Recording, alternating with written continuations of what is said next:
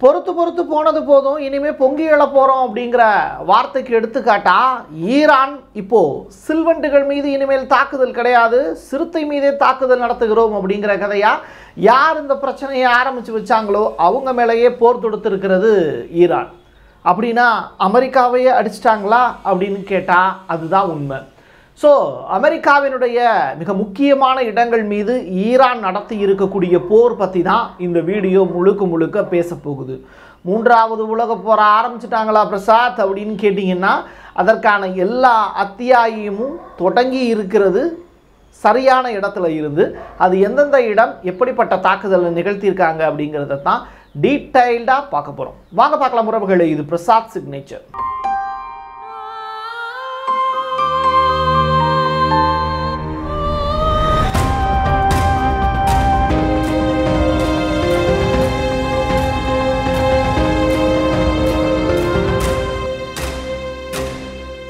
ஹமாஸுடைய political bureau head Husam Badran அப்படின்னு சொல்லப்படக்கூடிய அந்த நபர் கத்தாரில் எகிப்தில் இந்த ரெண்டு இடத்துலையுமே மொசாட்டினுடைய மிக முக்கியமான ஹெட்டு அவங்க எல்லாருமே சேர்ந்து இந்த சீஸ் ஃபயர் டீலுக்கு பேச்சுவார்த்தை நடத்திக்கிட்டு இருக்காங்க. எவ்வளவு பேரை வந்து விடுவிக்கலாம் பிணைய கைதிகளை அப்படிங்கிற மாதிரி விஷயங்கள். இப்போதைக்கு ஹமாஸ் சைடில் இருந்து ஒரு நான்கு பேரை விடுதலை செய்கிறோம் அப்படிங்கிற மாதிரியான பேச்சுவார்த்தைக்கு ஓகே சொல்லியிருக்காங்கங்கிற தகவல் வெளியாக இருக்குது பட் இது ரொம்ப குறைந்த எண்ணிக்கையில் இருக்கே அப்படிங்கிற கேள்விகளும் இப்போ பேசு பொருளாக மாறி இருக்குது சீஸ் ஃபயருக்கான டீல் அப்படிங்கிறது இன்னும் முடிவடையலை. இப்படிப்பட்ட சூழ்நிலையில் அமெரிக்காவினுடைய பிளிங்கன் கொடுத்துருக்கக்கூடிய அழுத்தத்தின் காரணமாக மொசாட்டும் இந்த பேச்சுவார்த்தையில் கலந்துக்கிறாங்க. அதே நேரத்தில் ஹமாஸும் பல கட்ட பேச்சுவார்த்தையில் ஈடுபட்டுக்கிட்டு இருக்காங்க அப்படிங்கிற தகவலும் ரிலீஸ் ஆயிருக்கு. ஈரானும் சில விஷயங்களை மறைத்திருப்பது உண்மையே அப்படிங்கிறது இப்போ வெட்ட வெளிச்சமாக தெரிய வருது. அந்த வகையில் இஸ்ரேல் வெளியிட்டு இருக்கக்கூடிய சேட்டலைட் இமேஜ் அது ஈரானில் எந்தெந்த இடத்துல எல்லாம் தாக்குதல் நடத்தியிருக்காங்க அப்படிங்கிறத ரொம்ப தெளிவாக காட்டுது. அந்த வகையில் பாலிஸ்டிக் மிசைல் குடோன் வச்சுருக்காங்கல்ல அந்த இடங்கள் மீது தாக்குதல் நடத்தப்பட்டதாகவும் அது மட்டுமல்ல ஈரானுடைய நியூக்ளியர் ஃபெசிலிட்டிஸ் வைத்திருக்கக்கூடிய இடங்கள் மீது தாக்குதல் நடத்தப்பட்டிருப்பதாக செய்திகள் வெளிவந்த வண்ணமாக இருக்கிறது. இப்போது யூரான் ஈரானுடைய அந்த அணு ஆயுத கிடங்குகள் மீது நடத்தி இருக்கக்கூடிய தாக்குதலை ரெண்டு மிலிட்ரி பேஸ் மீது நாங்கள் தாக்குதல் நடத்தியுள்ளோம். இதுதான் எங்களுடைய இலக்கு அப்படின்னு இஸ்ரேல் இப்போ வெட்ட வெளிச்சமாக ஒரு செய்தியை பரப்பிக்கிட்டு இருக்கு. ஸோ சேட்டலைட் இமேஜ் வெளிவந்ததுனால இதை உலக மக்கள் நம்ப வேண்டிய கட்டாயத்துக்கு தள்ளப்பட்டிருக்காங்க. சரி இவ்வளவு பெரிய தாக்குதலை இஸ்ரேல் நடத்தியிருக்கு அப்படின்னா ஈரான் சும்மா விட்டுருவாங்களா அப்படிங்கிற அடுத்த கட்ட கேள்விகளும் இருக்குது லைட்டாக மலைச்சாரல் தூர மாதிரியான வீடியோக்கள் தானே வெளியில் வந்தது. இப்போ புயலை வீசியிருக்கான்னு கேட்டால் அவங்க வீசினது புயல் அல்ல ஈரான் அடுத்து அடுத்து இருக்கக்கூடிய அடி தான் மிகப்பெரிய அளவிலான புயலை கிளப்பியிருக்கு. ஈராக்கினுடைய வான்வழி தளம் அப்படிங்கிறது ஏப்ரல் மாதம் பதிமூன்றாம் தேதியில் இருந்து க்ளோஸ் பண்ணி தான் வச்சுருக்காங்க. அப்போது இந்த இஸ்ரேல் இந்த இரண்டு தாக்குதலை நடத்தினது முக்கியமான தாக்குதலை நடத்தினது எந்த இடத்துல இருந்து அப்படிங்கிறத ஈரான் இன்வெஸ்டிகேஷன் பண்ணுறாங்க அப்போ இந்த இன்வெஸ்டிகேஷன் பண்ணதில் இருந்து அந்த தாக்குதல் ஈராக்கில் இருந்து நடத்தப்பட்டிருக்கு அப்படிங்கிற செய்தி. அப்போ இஸ்ரேல்ல இருந்து அடிக்கலையா? அப்போ அடித்தது இஸ்ரேலே இல்லையா? அப்படிங்கிற கேள்விகள் நமக்குள்ளே இடும் ஆனால் இதுக்கான பதிலை வந்து ஈரான் சைடில் இருந்து கொடுத்துருக்கக்கூடிய டெக்ரான் நியூஸ் ரிப்போர்ட் என்ன சொல்லுது அப்படின்னா ஈராக்கில் இருக்கக்கூடிய அமெரிக்க தளங்கள் இருக்குல்ல அந்த இடத்துல இருந்து இஸ்ரேல்காரங்க இந்த அட்டாக்கை நடத்தியிருக்காங்க அப்படிங்கிறது தான் ரிப்போர்ட்டு அப்போது ஈராக்கினுடைய வான்வெளி தளம் மூடப்பட்டிருக்குங்கிறீங்க. அப்போ ஈராக்கில் இருக்கக்கூடிய இஸ்ரேலிய இல்லை அமெரிக்காவினுடைய கட்டுப்பாட்டில் இருக்கக்கூடிய தளங்களில் இருந்து விமானம் பறந்துருக்குங்கிறீங்க. இது குழப்பமாக இருக்கே அப்படிங்கிற கேள்விகள் நமக்குள்ளே வரும். ஆனால் இதற்கு தெளிவாக நம்ம புரிஞ்சுக்க வேண்டியது சில தளங்கள் இவங்களுடைய கட்டுப்பாட்டில் இருக்குது யார்? அமெரிக்காவினுடைய கட்டுப்பாட்டில் இருக்குது அந்த தளங்களில் இருந்து வான்வெளியை பயன்படுத்துவதற்கான அதிகாரம் அது முழுக்க முழுக்க பொறுப்பு யாருடையது அப்படின்னா யூஎஸ்னுடையது. ஈராக்லேயே இருந்தாலும். ஏன்னா ஈராக்கை காப்பாற்றுறேன் அப்படிங்கிற பேரில் தான் யூஎஸ்னுடைய ட்ரூப்ஸ் வந்து ஈராக்கில் வட்டமிடுறாங்க. அப்போது அங்கே ஏகப்பட்ட ட்ரூப்ஸ் இருக்காங்க. அவங்களுக்குன்னு சொல்லிட்டு சில தளங்கள் இருக்குது அதில் இருந்து இஸ்ரேல் வந்து இந்த தாக்குதலை நடத்தியிருக்காங்க அப்படிங்கிற செய்தி. அப்போது திருப்பி ஈரான் வந்து யுஎஸ் தளங்கள் மீது தாக்குதல் நடத்த திட்டமிட்டுருக்கா அப்படின்னு கேட்டால் திட்டமிட ஆரம்பித்து அதை செயல்படுத்தியும் முடிச்சிட்டாங்க.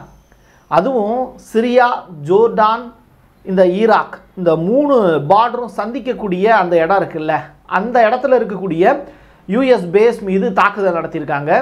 இதில் ஏகப்பட்ட அமெரிக்கர்களுக்கும் பாதிப்பு ஏற்பட்டிருக்கு அப்படிங்கிற விஷயம் அவங்களுக்கும் காயம் ஏற்பட்டிருக்குங்கிற விஷயம். சுக்குநூறாக சிதறக்கூடிய காட்சிகள் யூஎஸ் பேஸில் இருக்கக்கூடிய அந்த தளங்கள் வந்து சுக்குநூறாக சிதறக்கூடிய காட்சிகள் வந்து ட்விட்டரில் பதிவாயிருக்கு. நீங்கள் டெலகிராம்லேயும் அந்த வீடியோக்களை பார்த்து பார்க்கலாம். ஏற்கனவே அக்டோபர் மாதம் இருபத்தி இரண்டாம் தேதி கொனக்கோ அப்படிங்கிற கேஸ் ஃபீல்டு மேலே தாக்குதல் நடத்துனாங்கங்கிறத நான் சொல்லியிருந்தேன். அதே மாதிரி இப்போது அல் டனஃப் அப்படின்னு சொல்லப்படக்கூடிய அந்த இடத்தின் மீது தாக்குதல் நடத்தியிருக்காங்க. அல் ஓமர் அப்படிங்கிற ஆயில் ஃபீல்டு அந்த பேர் பேஸ் மீதும் தாக்குதல் நடத்தியிருக்காங்கங்கிற ரிப்போர்ட் வெளியாக இருக்குது ஸோ அமெரிக்கா மீதே இது போர் தொடுத்தியதற்கு சமம் தான் இவ்வளவு பெரிய அவமானம் நிகழ்ந்த பிறகு அமெரிக்கா திருப்பி ஈரானை அடிக்குமா அப்படிங்கிற கேள்விகளும் இருக்குது இனிமேல் இஸ்ரேலுக்கும் ஈரானுக்கும் இடையில் நடக்கக்கூடிய போர் அப்படிங்கிறது தாண்டி ஈரானுக்கும் அமெரிக்காவுக்கும் இடையிலேயே நேரடியாக ஒரு போர் மூழ்வதற்கான வாய்ப்பு இருக்குது அப்படிங்கிற சுச்சுவேஷன் இப்போ உருவாயிருக்கு. இப்படி ஒரு சூழ்நிலை நடந்ததற்கு பிறகு ஈரானில் மிக முக்கியமான கேபினட் மீட்டிங் வந்து நடந்திருக்கு. இது அக்டோபர் மாதம் இருபத்தி ஏழாம் தேதி பெஜஸ்கியான் அதிபர் தலைமையில் நடத்தியிருக்காங்க. இதில் ஈரான் உச்சபட்ச கோபத்தை வெளிப்படுத்தணும் அப்படிங்கிற ஒரு ஸ்டேட்மெண்ட்டை சொல்லியிருக்காங்க. ஸோ ஈரான் வந்து இஸ்ரேலை வந்து ஒன்றுமில்லாமல் செய்கிறதுக்கு என்ன வாய்ப்புகள் நம்மகிட்ட இருக்குது அப்படிங்கிறத பற்றி பேச்சுவார்த்தையில் ஈடுபட்டிருக்காங்க. ஸோ அடுத்த கட்டமாக இஸ்ரேல் மீதும் அவங்க தாக்குதலை நடத்துவதற்கு தயாராகிட்டு இருக்காங்க ரிப்போர்ட் வெளியாயிருக்கு கமினி என்னங்க சொன்னாங்க? அதை பற்றி நீங்கள் எதுவுமே சொல்ல மாட்டீங்களே அப்படிங்கிற கேள்விகள் இருக்குது ஸோ அதற்கான பதிலை நான் இப்போ சொல்கிறேன் சரி இஸ்புல்லா என்னாச்சு? அதையும் வந்து மறந்துட்டீங்களே? இஸ்புல்லாவும் தொடர்ச்சியாக இஸ்ரேல் வந்து அட்டாக் பண்ணிக்கிட்டே இருக்காங்களே? ஒரு நாள் கேப் ஆகிடுச்சு என்னாச்சு? அப்படிங்கிற கேள்வி எல்லாருக்குள்ளேயும் இருக்கும். அந்த வகையில் இஸ்புல்லா வந்து லிமிட்டட் அப்படின்னு சொல்லப்படக்கூடிய அந்த மைதானத்தின் மீது தாக்குதல் நடத்தியிருக்காங்க. அஞ்சு இஸ்ரேல் வந்து வீரர்கள் வந்து இறந்து போயிருக்காங்க அப்படிங்கிற ரிப்போர்ட்டு ஐடிஎஃபினுடைய அலோன் பிரிகேடு பேட்டலியன் அவங்க எயிட் டூ ஜீரோ செவன் அப்படிங்கிற அந்த பிரிகேட்ஸ் மீது தாக்குதல் நடத்தியதில் இஸ்ரேலிய வீரர்கள் வந்து இறந்து போயிருக்காங்க அப்படிங்கிற ரிப்போர்ட்டும் இப்போ வெளியாயிருக்கு. இஸ்புல்லாவுக்கும் இது ஏகப்பட்ட இழப்புகள். அதே நேரத்தில் இஸ்ரேல் வீரர்களுக்கும் இழப்பு. ரெண்டு பக்கமுமே நட்டம் இருக்கு. ஆனால் இதில் யார் ஜெயிக்க போறாங்க அப்படிங்கிறது தான் பெருத்த கேள்வி. இது பத்தாததுக்கு ஏமனில் இருக்கக்கூடிய ஹவுதி படைகள் வந்து என்ன பண்ணியிருக்காங்கன்னா அந்த பழங்குடிகள் வந்து ஒரு பெரிய இராணுவ அணிவகுப்பு ஒத்திகை நடத்தியிருக்காங்க அந்த ஒத்திகை பண்ண வீடியோ வந்து இன்னைக்கு ட்விட்டரில் அவங்க அப்ளை பண்ணியிருக்காங்க. ஹவுதிகளுக்கு ஏற்கனவே ரஷ்யா உதவி பண்ணிக்கிட்டு இருக்கு அப்படிங்கிற விஷயம் சிரிய படைகள் ரஷ்யாவில் இருக்காங்க அப்படிங்கிற விஷயம். ஸோ ஈரானுக்கு ஆதரவாக சிரியாவில் அந்த பார்டர் பஞ்சாயத்து சொல்லியிருந்தேன்ல யூஎஸ் மிலிட்ரி பேஸ் மீது அட்டாக் நடத்தினாங்கன்னு. அப்போது ரஷ்ய படைகள் அதை சாதகமாக பயன்படுத்தி கொண்டு ஈரானுக்கு உதவுவதற்கான வாய்ப்புகளும் சிரியாவில் இருக்குங்கிறது தான் ரொம்ப ரொம்ப இம்பார்ட்டண்டான விஷயம். இதை தாண்டி வந்து ரஷ்யாவினுடைய ஒரு முக்கியமான ஒரு விமானம் ஒன்று டைரக்டாக ஈரானுக்கு வந்து தரையிறங்கியிருக்கு அப்படிங்கிற செய்தி. அதுக்குள்ளே என்ன இருக்குது அப்படிங்கிற ஒரு பெரிய தேடுதலை இன்றைக்கி ராய்டர்ஸ் வந்து ஈடுபட்டிருக்காங்க. அந்த தகவல் கிடைச்ச உடனே நான் சொல்கிறேன் ஆனால் அதுக்கு முன்னாடி அந்த ஏர்கிராஃப்டினுடைய பேர் என்ன அப்படிங்கிறதும் அதனுடைய இமேஜும் நமக்கு கிடச்சிருக்கு. ரஷ்யாவினுடைய Tu two one four SR அப்படின்னு சொல்லப்படக்கூடிய அந்த ஏர்கிராஃப்ட்டு ரொம்ப டிஃப்ரெண்ட் டைப் ஆஃப் ஏர்கிராஃப்ட்டு இது வந்து டேரெக்டாக ஈரானுக்குள்ளே நுழைஞ்சிருக்கு அப்படிங்கும்போது ரஷ்யா என்ன தகவலை அவங்களுக்கு கொடுத்து விட்டாங்க? என்ன மாதிரியான ஆயுதங்கள் அதுக்குள்ளே இருக்குது அப்படிங்கிறது தெரியல. இந்த ரிப்போர்ட்டை வந்து ஈரான் ரொம்ப சஸ்பென்ஸாக வச்சுருக்காங்க. இந்த ஏர்கிராஃப்ட் வந்து இறங்கின உடனே கமினி அவர்கள் புதிதாக ஒரு எக்ஸ்தலத்தை ஹியூப்ரு மொழியில் பேசுகிறதுக்கு இஸ்ரேல்காரங்கள்ட்ட பேசுகிறதுக்காக தனது இணையதளத்தில் சின்ன மாற்றங்கள் செஞ்சுருக்காங்க. அந்த வகையில் அவங்க கொடுத்துருக்கக்கூடிய ரிப்போர்ட்டுங்கிறது எங்களை நீங்கள் தவறாக கணக்கிட்டு விட்டீர்கள். யார்கிட்ட சொல்கிறாரு இஸ்ரேல்காரங்கள்ட்ட சொல்கிறாரு ஈரான் போர் என்று அதாவது ஈரான் வந்து எப்படி போர் புரியும் அப்படிங்கிறது ஜியோனிஸ்டுகளுக்கு தெரியாது. நாங்கள் யார் அப்படிங்கிறத புரிய வைப்பதற்கான நேரம் இது. நிச்சயமாக ஜியோனிஸ்டுகளுக்கு நாங்கள் அதை புரிய வைப்போம் அப்படின்னு ஈரானுடைய உச்சபட்ச தலைவராக இருக்கக்கூடிய கமினி அவர்களுடைய ஸ்டேட்மெண்ட்டு இதை பதிவு பண்ணியிருக்காங்க அவங்களுடைய ட்விட்டர் பேஜில் சரி இஸ்ரேல் இப்போ ஈரானை அடிச்சிச்சு. அதுக்கு வந்து ஈரான் வந்து கண்டனம் தெரிவித்ததோடு நிறுத்திக்கிட்டாங்க. ஐக்கிய நாடுகள் சபையில் ஏதாவது வந்து ரெக்வஸ்ட் வச்சுருக்காங்களான்னு கேட்டால் அதுவும் ரொம்ப முக்கியமானது. அக்டோபர் மாதம் இருபத்தி எட்டாம் தேதி இஸ்லாமிக் ரிப்பப்ளிக் ஈரான் வந்து டைரெக்டாக என்ன பண்ணுறாங்கன்னா நேரடியாக யுஎன்எஸ்சியில் ஐக்கிய நாடுகளுடைய நிரந்தர சபையை கூட்டுங்க அப்படின்னு சொல்லியிருக்காங்க. அந்த வகையில் வந்து இன்றைக்கி ஒரு முக்கியமான மீட்டிங் வந்து யுஎன்எஸ்சியில் நடக்க போகுது அதில் வந்து என்ன சொல்ல பேச போகிறாங்க அப்படிங்கிறதையும் நம்ம பார்ப்போம். அதுக்கு முன்னதாக ஈரான் வந்து இஸ்ரேல் இந்த மாதிரி தாக்குதல் நடத்தியிருக்காங்க அப்படிங்கிற ரிப்போர்ட்டை வந்து ஐக்கிய நாடுகள் சபைக்கு கொடுத்துட்டாங்க. ஸோ இவ்வளவும் தாக்குதல் நடத்துனதுனால நாங்கள் மறுபடியும் தாக்குதல் நடத்த போகிறோம் அப்படிங்கிறதையும் ஐக்கிய நாடுகள் சபையில் சொல்லிட்டு அதை செய்ய போகிறாங்க அப்படிங்கிறதையும் இந்த இடத்துல மக்களுக்கு சொல்லணும். ஸோ இன்றைக்கி ஏகப்பட்ட இன்ஃபர்மேஷன் நம்ம பார்த்துருக்கோம். இதெல்லாம் உங்களுக்கு பிடிச்சிருந்தது அப்படின்னா உங்களுடைய நண்பர்களுக்கு ஷேர் பண்ணுங்கள் அது மட்டுமல்ல லோக்கல் பாலிடிக்ஸ் வந்து நம்ம பேசக்கூடாது அப்படின்னு சில பேர் நினைக்கிறாங்க. ஆனால் அது வன்மையாக கண்டிக்கத்தக்கது. ஒவ்வொருத்தருக்கும் ஒவ்வொரு தலைவர்களை பிடிக்கும். அதே நேரத்தில் சில தலைவர்களை சில பேருக்கு பிடிக்காமல் இருக்கும். அவங்களுடைய கொள்கைகள் அவங்களுடைய கோட்பாடுகள் பிடிக்காம இருக்கலாம். ஆனால் நான் இனிமேல் பேச போகிறது ரொம்ப கண்ணியமான வார்த்தைகளில் தான் நான் பயன்படுத்த போகிறேன் நமக்கும் சில பேரை பிடிக்கும் சில பேரை பிடிக்காமல் இருக்கும். நான் வந்து காமனாக நம்ம ஒரு பெரிய தளம் நமக்கு கிடச்சிருக்குங்கிறதுனால என்னுடைய வார்த்தைகள் இனிமேல் எப்போதுமே கண்ணியமாக இருக்க போகிறது.